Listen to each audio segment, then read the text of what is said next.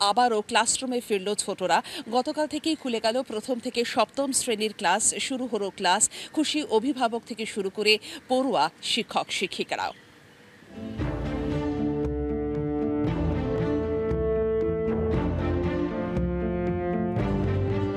এতদিন ক্লাসরুম মানে ছিল মা বাবার স্মার্টফোন। স্ক্রিনের সামনে মুখ কুচে বসে থাকা। অনলাইনের সেই মায়াজাল কাটিয়ে অবশেষে স্কুলে ফিরল শৈশব।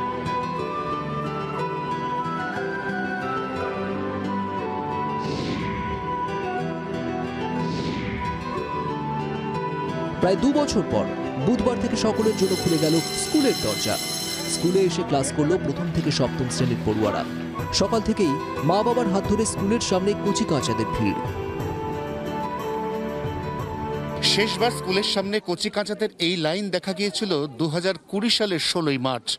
তারপর কেটে গেছে এক বছর এগারো মাস। দু হাজার বাইশ সালের ষোলোই ফেব্রুয়ারি অবশেষে আবার স্কুলমুখো এই কচি কচি মুখগুলো। স্কুলে ফিরল পড়ুয়ারা হাসি ফিরল খুদেদের মুখে। কি কি মিস করছিলি বলতো? স্কুল। স্কুল। কাকে কাকে মিস করছিলি? স্কুলে স্যার ম্যাম বন্ধু বান্ধব স্কুল।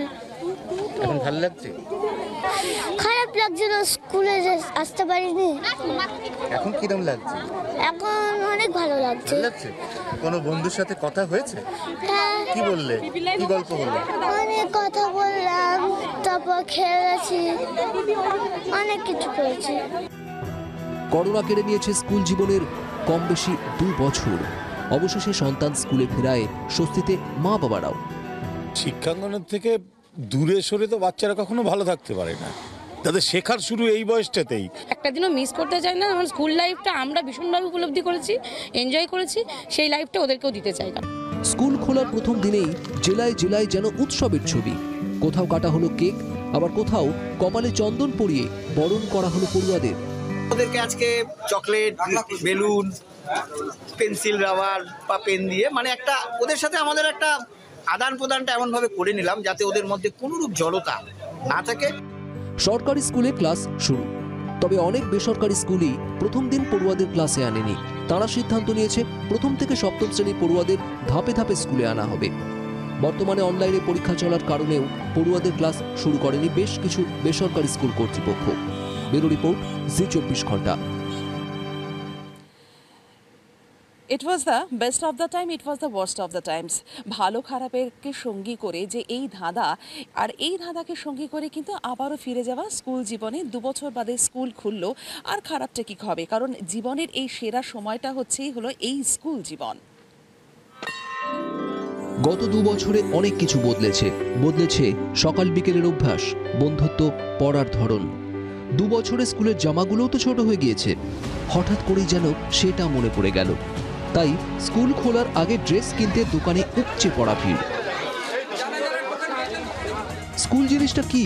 বুধবার স্কুলে যাওয়ার পথে কারও কারও মনে হয়তো চিন্তা উকি দিয়েছিল। কারণ অনেকের কাছেই স্কুল বিষয়টা নতুন। ঘুম থেকে ওঠা, বন্ধুদের সঙ্গে সময় কাটানো, ক্লাসের ফাঁকে খেলাধুলো, খুনসুটি, করোনাকালে এমন কত অভ্যাসই যে উল্টে পাল্টে গিয়েছে। ক্যালেন্ডার বলছে, স্কুল বন্ধ হওয়া আর খোলা দীর্ঘ ছশো একাত্তর দিনের অপেক্ষা। তবে এটা শুধু অঙ্কের হিসাব।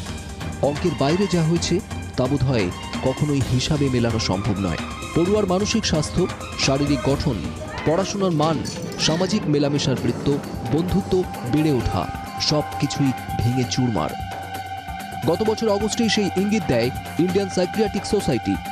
তাদের রিপোর্টে বলছে, দিনরাত মোবাইলে ব্যস্ত থাকায় ভেঙে পড়ছে পড়ুয়াদের মানসিক স্বাস্থ্য। নজর এড়িয়ে যাচ্ছে অটিজমের মতো সমস্যা। বড় অংশের পড়ুয়ার শরীরে ভিটামিন ডির ঘাটতি দেখা দিয়েছে। ইউনিসেফের রিপোর্টেও ধরা পড়ে। প্রাথমিক এমনকি মাধ্যমিক স্তরের পড়ুয়ারাও কথা বলা কমিয়ে দিয়েছে। বাবা মাকেও এড়িয়ে যাচ্ছে। কাদের সমস্যা সব থেকে বেশি? ইউনিসেফ বলছে, তিনটি গ্রুপের পড়ুয়ার সমস্যা বেশি।